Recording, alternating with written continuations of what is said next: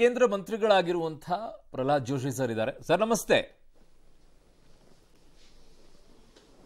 ನಮಸ್ಕಾರ ಹೇಗಿದ್ದೀರಿ ಅರುಣ್ ಬಡ್ಗೇರ್ ಅವರೇ? ಸರ್ ಚೆನ್ನಾಗಿದ್ದೀನಿ. ನೀವು ಚೆನ್ನಾಗಿದ್ದೀರಾ? ಮೊದಲನೇದಾಗಿ ಅಭಿನಂದನೆಗಳು ಸರ್ ತಮಗೆ. ಮೂರು ರಾಜ್ಯಗಳಲ್ಲಿ ಫೈನ್ ರೀ ಥ್ಯಾಂಕ್ ಯು ಮೂರು ರಾಜ್ಯಗಳನ್ನ ಅಧಿಕಾರ ಗದ್ದುಗೆ ಏರ್ತಾ ಇದ್ದೀರಾ? ಧನ್ಯವಾದ ನಿಮಗೆ. ಸರ್ ಈಗ ಮುಖ್ಯವಾಗಿ ಕಾಡುವಂಥದ್ದು ಮಧ್ಯಪ್ರದೇಶದಲ್ಲಿ ಸಾಧ್ಯ ಆಗತ್ತೆ ರಾಜಸ್ಥಾನದಲ್ಲಿ ಸಾಧ್ಯ ಆಗತ್ತೆ ಛತ್ತೀಸ್ಗಢದಲ್ಲಿ ಸಾಧ್ಯ ಆಗತ್ತೆ.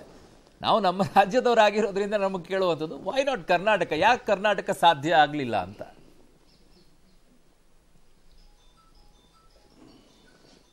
ಕರ್ನಾಟಕದಲ್ಲಿ ನಾವು ಇಷ್ಟು ಹೇಳ್ಬೋದು ಯಾಕಾಗಿಲ್ಲ ಅಂತ ಅನ್ನೋದು ಅದು ಚರ್ಚೆ ಬೇರೆ ವಿಷಯ.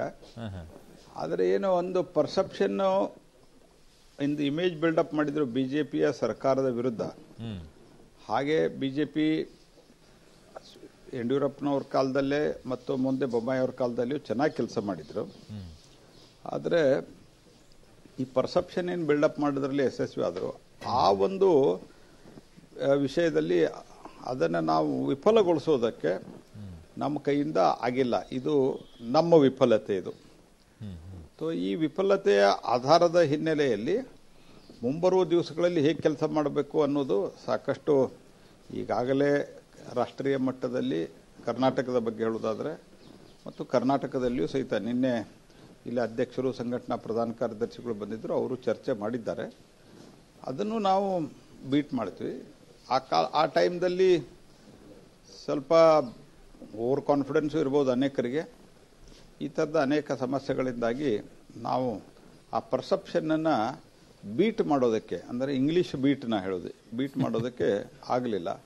ಅದು ಬಿಟ್ಟರೆ ಅದು ತೆಲಂಗಾಣದ ಸಾರಿ ನಮ್ಮ ರಾಜಸ್ಥಾನದಲ್ಲಿರ್ಬೋದು, ಮಧ್ಯಪ್ರದೇಶದಲ್ಲಿರ್ಬೋದು, ನಾವು ಸರಿಯಾದಂಥ ನಮ್ಮ ಪರ್ಸೆಪ್ಷನ್ ಏನಿದೆ, ನಮ್ಮ ಕಲ್ಪನೆಗಳೇ ಮುಂದೆ ಏನು ಕೆಲಸ ಮಾಡ್ತೀವಿ, ಮತ್ತು ಕೇಂದ್ರ ಸರ್ಕಾರದ, ವಿಶೇಷವಾಗಿ ಕೇಂದ್ರ ಸರ್ಕಾರದ ಯೋಜನೆಗಳು, ಮೋದಿ ನೇತೃತ್ವದ ಪಾರ್ಟಿ ಇವತ್ತು ರಾಜ್ಯದಲ್ಲಿ ಇರಬೇಕು ಕೇಂದ್ರದಲ್ಲಿ ಇರಬೇಕು ಇದನ್ನು ಕನ್ವಿನ್ಸ್ ಮಾಡೋದರಲ್ಲಿ ನಾವು ಸಫಲರಾದ್ವಿ. ಬಟ್ ಅದೇ ರೀತಿಯಾಗಿ ಸರ್ ಈಗ ಮಧ್ಯಪ್ರದೇಶದಲ್ಲೂ ಕೂಡ ಗ್ಯಾರಂಟಿಗಳ ಘೋಷಣೆ ಆಯಿತು. ರಾಜಸ್ಥಾನದಲ್ಲಿ ಗ್ಯಾರಂಟಿಗಳ ಘೋಷಣೆ ಆಯಿತು. ಛತ್ತೀಸ್ಗಢದಲ್ಲಿ ಸ್ವಲ್ಪ ಮಟ್ಟಿಗಿದೆ ಬಟ್ ತೆಲಂಗಾಣದಲ್ಲಿ ಹ್ಯೂಜ್ ಆಗಿ ಗ್ಯಾರಂಟಿಗಳ ಘೋಷಣೆ ಆಯಿತು. ನೀವು ಮಧ್ಯಪ್ರದೇಶ ಮತ್ತು ರಾಜಸ್ಥಾನದಲ್ಲಿ ಅದನ್ನು ಎದುರಿಸೋದ್ರಲ್ಲಿ ಸಕ್ಸಸ್ ಆಗ್ತೀರಾ? ತೆಲಂಗಾಣದಲ್ಲಿ ಅಂಥದ್ದು ಏನಾಯಿತು? ಅದನ್ನ ಫೇಸ್ ಮಾಡೋದ್ರಲ್ಲಿ. ಹಾಗೆ ನೋಡಿದ್ರೆ ಕಳೆದ ಬಾರಿ ನೀವು ಏಳು ಪರ್ಸೆಂಟ್ ಓಟಲ್ಲಿದ್ರಿ ಒಂದು ಸೀಟನ್ನು ಸೀಟನ್ನ ಗೆದ್ದಿದ್ದು. ಈಗ ಎಂಟು ಸೀಟ್ಗಳನ್ನ ಗೆದ್ದುಕೊಳ್ತಾ ಇದ್ದೀರಾ? ಓಟ್ ಪರ್ಸೆಂಟ್ ಸಹಜವಾಗಿ ಇನ್ಕ್ರೀಸ್ ಆಗಿರುತ್ತೆ.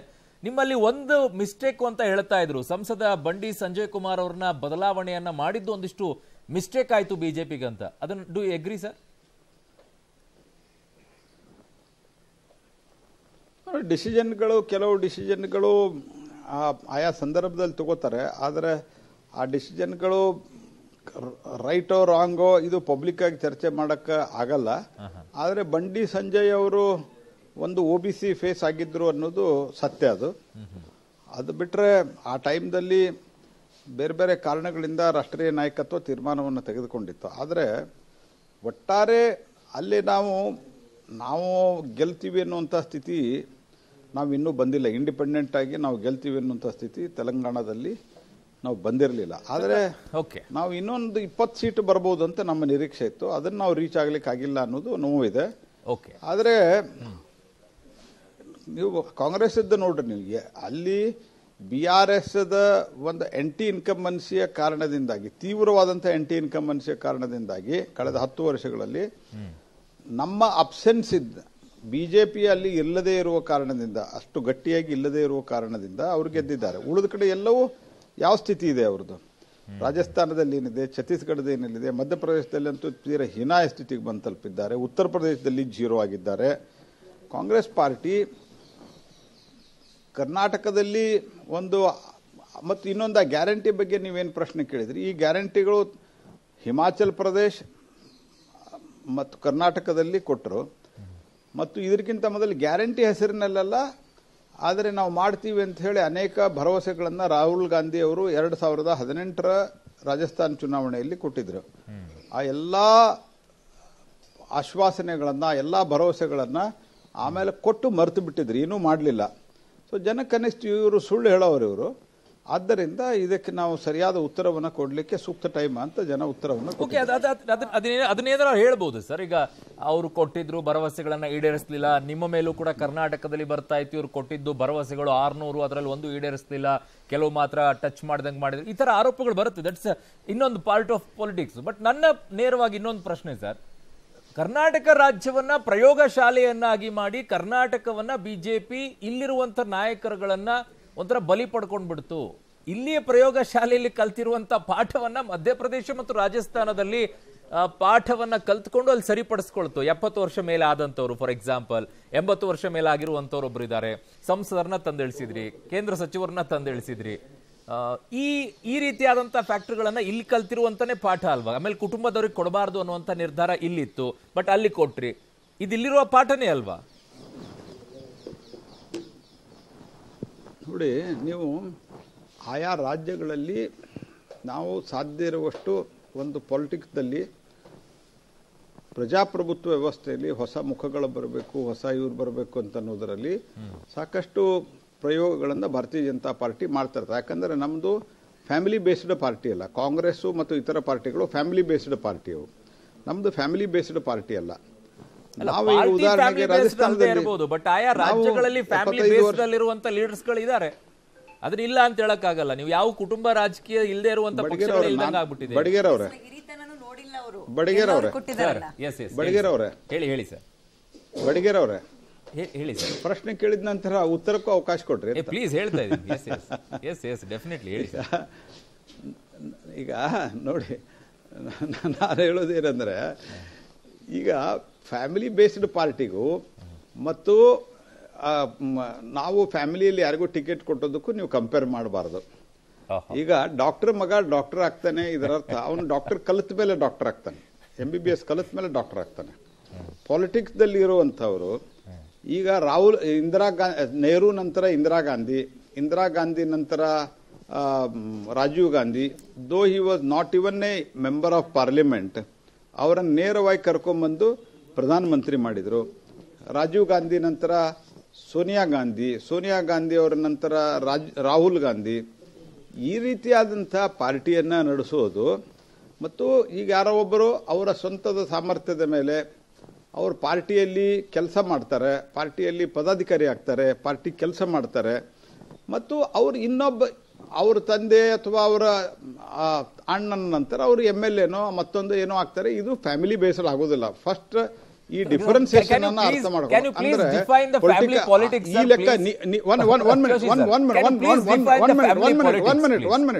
ಈ ಲೆಕ್ಕ ನೀವು ಹಾಕ್ತಾ ಹೋದ್ರೆ no no that's what I am defining you you ನೀವು ಅದನ್ನ ಕೇಳ್ತಾ ಇಲ್ಲ ನಾನು ಏನ್ ಮಾಡ್ಲಿ ಪ್ಲೀಸ್ ಹೇಳಿ ಸರ್ ನಾನು ಹೇಳುದು ಫ್ಯಾಮಿಲಿ ಪಾಲಿಟಿಕ್ಸ್ ಅಂದ್ರೆ ನೀವು ಹೇಳ್ತಾ ನೀವು ಹೇಳುವ ಪ್ರಕಾರವಾಗಿ ನಾವು ಹೋದರೆ ಪಾಲಿಟಿಕ್ಸ್ದಲ್ಲಿರುವಂಥ ಯಾವುದೇ ಫ್ಯಾಮಿಲಿ ಮೆಂಬರ್ಸು ಮುಂದೆ ಪಾಲಿಟಿಕ್ಸ್ದಲ್ಲಿ ಬರಲೇಬಾರದು. That is not the concept of family politics. ಈಗ ನೀವು ಮುಲಾಯಂ ಸಿಂಗ್ ನಂತರ ಪೂರಾ ಪಾರ್ಟಿ ಅವರ ಕೈ ಹಿಡಿತದಲ್ಲಿ ಅವರ ಮನೆಯಲ್ಲಿ ಇಪ್ಪತ್ತು ಇಪ್ಪತ್ತೈದು ಜನ ಸ್ಪರ್ಧಿಸ್ತಾರೆ. ಪೂರಾ ಅವರ ಅವರ ಅವ್ರ ಮುಖ್ಯಮಂತ್ರಿ ಆದ ನಂತರ ಇವ್ರ ಮುಖ್ಯಮಂತ್ರಿ. ಅವರ ಅಧ್ಯಕ್ಷ ಆದ ನಂತರ ಇವ್ರ ಅಧ್ಯಕ್ಷರು. ಅವ್ರ ಮಕ್ಕಳ ಅಧ್ಯಕ್ಷರು. ಇದು ಫ್ಯಾಮಿಲಿ ಬೇಸ್ಡ್ ಪಾರ್ಟಿ ಯಾರೋ ಒಬ್ಬರು ಅವ್ರ ಮನೆಯಲ್ಲಿ ಪಾರ್ಟಿ ಕೆಲಸ ಮಾಡ್ತಾರೆ ಅವರ ಅವಧಿ ಮುಗಿದ ನಂತರ ಅವರು ಪರಿಶ್ರಮ ಪಟ್ಟು ಅವರು ಒಂದು ಎಂ ಎಲ್ ಎ ಆಗಕ್ಕೆ ಪ್ರಯತ್ನ ಮಾಡ್ತಾರೆ. ಅದು ಫ್ಯಾಮಿಲಿ ಬೇಸ್ಡ್ ಆಗಲ್ಲ ಅದು. ಈ ಡಿಫರೆನ್ಸಿಯೇಷನ್ ಅನ್ನ ನಾವು ಅರ್ಥ ಆಗ ಆವಾಗ ಈ ಆರ್ಗ್ಯುಮೆಂಟ್ ಇಟ್ಕೊಂಡು ಹೋದ್ರೆ ಯಾವುದೇ ಎಂ ಎಲ್ ಎ ಅಥವಾ ಎಂ ಪಿ ಮಕ್ಕಳು ಅವ್ರ ಅಪ್ಪಿತಪ್ಪನು ಪಾಲಿಟಿಕ್ಸ್ಗೆ ಬರಬಾರ್ದು ಹಂಗಾಗತ್ತೆ. That is not the family based ಕೊನೆ ಫ್ಯಾಮಿಲಿ ನನ್- ಲಾಲು ಪ್ರಸಾದ್ ಯಾದವ್ ನಂತರ ಆ ಪಾರ್ಟಿಗೆ ಆಧಾರ ಯಾರು? ನಿಜ ಒಂದ್ ಕೊನೆ ಪ್ರಶ್ನೆ ಸರ್ ಈಗ ರಾಜ್ಯದಲ್ಲಿ ನೀವು ಆ ಸೋತಾಗ ಪಾರ್ಟಿಗೆ ಆಧಾರ ಅಂದ್ರೆ ಅವ್ರ ಕಾಂಗ್ರೆಸ್ ಕೈ ಮಕ್ಕಳೇನೆ. ಹಿಡಿದು guarantee ಇದು ಅಲ್ಲ ನಮ್ದು. ಅಲ್ಲ ಈಗ ಫ್ಯಾಮಿಲಿ ಪಾಲಿಟಿಕ್ಸ್ ಅರ್ಥ ಆಯ್ತು ಸರ್ ನೀವು ಹೇಳಿದ್ದು. ರಾಜ್ಯದಲ್ಲಿ ನೀವು ಸೋತಾಗ ಕಾಂಗ್ರೆಸ್ಗೆ ಗ್ಯಾರಂಟಿ ಕೈ ಹಿಡಿತು ಅಂದ್ರಿ. ಈ ಮೂರಲ್ಲಿ ಗೆದ್ದಿದ್ರಲ್ಲ ಏನ್ ಕೈ ಹಿಡಿತು ಅಂತ ನಿಮ್ಗೆ ಅನ್ಸುತ್ತೆ? ಯಾಕಂದ್ರೆ ನೀವು ಕೂಡ ಗ್ಯಾರಂಟಿ ಕರಣ ಕೊಡೋಂಗಿಲ್ಲ. ಕಾಂಗ್ರೆಸ್ಗಿಂತ ಕಲರ್ಫುಲ್ ಗ್ಯಾರಂಟಿಯನ್ನ ನೀವು ಈ ಸಲ ಕೊಟ್ಟಿದ್ರಿ ಎಲ್ಲ ಕಡೆನು ಅಲ್ವಾ? ಏನ್ ಕೈ ಹಿಡಿತು ಅನ್ಸುತ್ತಾ? ನಿಮ್ಗೂ ಗ್ಯಾರಂಟಿಗಳೇ ಕೈ ಹಿಡಿತು ಅನ್ಸುತ್ತಾ? ಅಲ್ಲಲ್ಲ, ನೀವು ನೀವು, ನೋ ನೋ ನೋ ನೋ ನಾವು ಗ್ಯಾರಂಟಿಗಳನ್ನ ನಾವೇನು ಭರವಸೆಯನ್ನ ನಮ್ಮ ಇದರಲ್ಲಿ ಕೊಟ್ಟಿದ್ದೀವಿ, ಅದನ್ನ ಪೂರ್ತಿ ಮಾಡುವ ಗ್ಯಾರಂಟಿ ಕೊಟ್ಟಿದ್ದೇವೆ ನಾವು ಕಾಂಗ್ರೆಸ್ನಂಗೆ ಸುಳ್ಳು ಭರವಸೆಯನ್ನ ಕೊಟ್ಟಿಲ್ಲ. ನೀವು ರಾಜಸ್ಥಾನದಲ್ಲಿ ಮೋದಿಯವರ ಭಾಷಣವನ್ನ ನೀವು ಕೇಳಿರ್ಬೋದು ಅಂತ ಅಂದ್ಕೊಡ್ತೇನೆ. ಮೋದಿ ಕಾ ಮತ್ಲಬ್ ಹೈ, ಗ್ಯಾರಂಟಿ ಪೂರೈಕರಣಕ್ಕ ಗ್ಯಾರಂಟಿ. ಸೊ ಇದನ್ನ ನಾವು ಏನು ಹೇಳಿದ್ದೀವಿ? ಉದಾಹರಣೆಗೆ ಕೇಂದ್ರದಲ್ಲಿ ನಾವು ಏನು ಹೇಳಿದ್ವಿ, ಕೆಲವು ಪ್ರಾಮಿಸ್ ಮಾಡಿದ್ವಿ ಮತ್ತು ಕೆಲವು ಪ್ರಾಮಿಸ್ ಮಾಡಲೇ ಇರೋದಿತ್ತು. ಅವನು ಸಹಿತ ನಾವು ಮಾಡಿದ್ದೀವಿ ವೆರಾಸ್ ಕಾಂಗ್ರೆಸ್ ಪಾರ್ಟಿಯ ಸ್ಥಿತಿ ಹಂಗೆ ಎಂದೂ ಇಲ್ಲ. ಅವರು ಎಲ್ಲ ಕಡೆ, ಈಗ ರಾಜಸ್ಥಾನದಲ್ಲಿ ಯಾವ, ನೀವು ಬಿ ಜೆ ಪಿಯ ಮ್ಯಾನಿಫೆಸ್ಟೋ ಕಂಪೇರ್ ಮಾಡಿದರೆ, ಅವ್ರು ಕಂಪೇರ್ ಕಂಪೇರ್ ಮಾಡಿ ಹೇಳಿ, ರಾಜಸ್ಥಾನದಲ್ಲಿ ಲ್ಯಾಪ್ಟಾಪ್ ಕೊಡ್ತೀನಿ ಅಂತ ಹೇಳಿದ್ರು. ಸಾಲ ಮನ್ನಾ ಅಂತ ಹೇಳಿದ್ರು. ಸಾಲ ಮನ್ನಾ ಮಾಡಿಲ್ರಿ, ಒಂದು ರಾಹುಲ್ ಗಾಂಧಿಯ ಫೇಮಸ್ ಸ್ಪೀಚ್ ಇವತ್ತು ಯೂಟ್ಯೂಬ್ದಲ್ಲಿ ಬಹಳಷ್ಟು ಹಿಟ್ಸ್ ಆಗ್ತಾ ಇದೆ. ಒಂದು ಎರಡು ಮೂರು ನಾಲ್ಕು ಐದು ಆರು ಎಂಟು ಒಂಬತ್ತು ಹತ್ತು ಎಣಸ್ರಿ ಹತ್ತು ದಿವಸದಲ್ಲಿ ನಿಮ್ಮ ಸಾಲ ಮನ್ನಾ ಆಗ್ತದೆ ತಿರುಗಿ ಐದು ವರ್ಷ ಮುಗಿತು ಇನ್ನೂ ಸಾಲ ಮನ್ನಾ ಆಗಿಲ್ಲ yes yes okay thank you so much sir